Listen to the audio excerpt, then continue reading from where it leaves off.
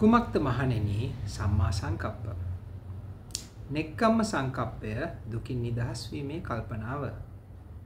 අව්‍යාපාද සංකප්පය ව්‍යාපාදෙන් තොර කල්පනාව. අවිහිංසා සංකප්පය හිංසාවෙන් තොර කල්පනාව. මෙය මහණෙනි සම්‍යක් කල්පනායයි කියනු ලැබේ.